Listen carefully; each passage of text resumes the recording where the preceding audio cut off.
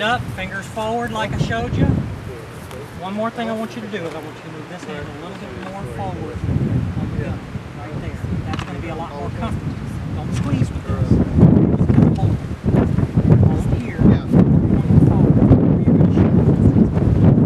Pull, pull the hammer back. Leave this finger forward. There you go. All right. Now line up. Easy now. Slowly put your finger on the trigger.